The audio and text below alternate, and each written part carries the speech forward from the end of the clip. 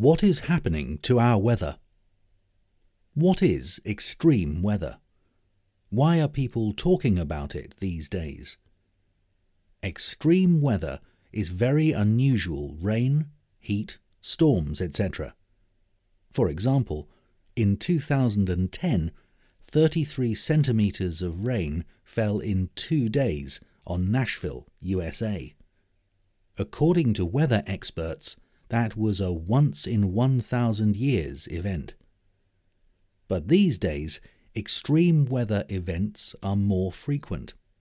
Also in 2010, 28 centimetres of rain fell on Rio de Janeiro in 24 hours, and there was record rainfall in Pakistan.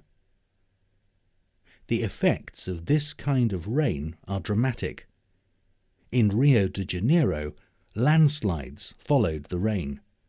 Hundreds of people died. In Pakistan, it caused floods that affected 20 million people. The opposite situation is drought, where no rain falls. Australia, Russia, and East Africa have suffered major droughts in the last 10 years.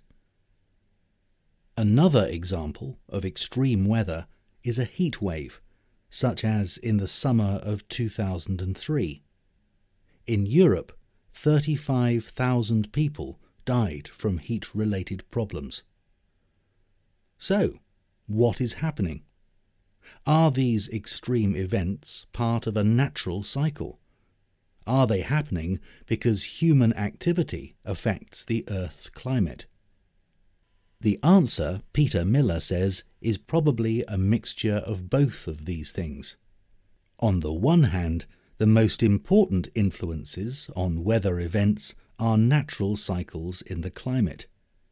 Two of the most famous cycles are called El Nino and La Nina.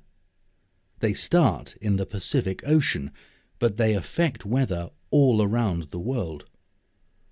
On the other hand, the Earth's oceans are changing. Their temperatures are increasing and this is a result of human activity. The greenhouse gases we produce mean the atmosphere warms up. Warmer oceans produce more water vapour.